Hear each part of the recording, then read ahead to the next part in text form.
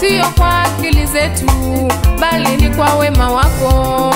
Tumeona ishara zako, tumeshuhudia ukuu wako. Kanisa tunyenyekee, ili Bwana atukuke. Kanisa tunyenyekee, ili Bwana atukuke. Wema.